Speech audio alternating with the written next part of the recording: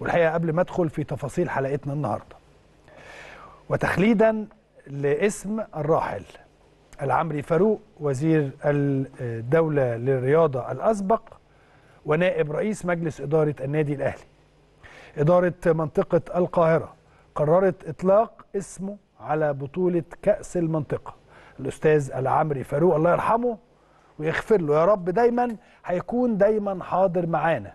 سواء بسيرته المحترمة وأخلاقه الطيبة أو حتى بإطلالته اللي دايما بيكون في قلوب كل الأهلاوية. ربنا يغفر له ويصبرنا جميعا ويصبرنا كلنا كأهلاوية على الفقيد العمري فاروق. الحقيقة هذا الرجل المحترم اللي سيظل دائما في قلوب كل الأهلاوية.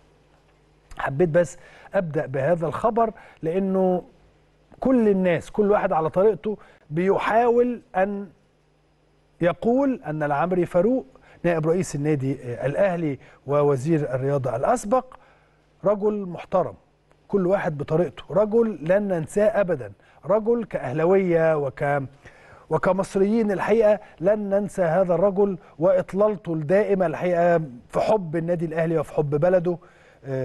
يظل دائما اسمه موجود بينا وصورته ستظل دائما في قلوبنا.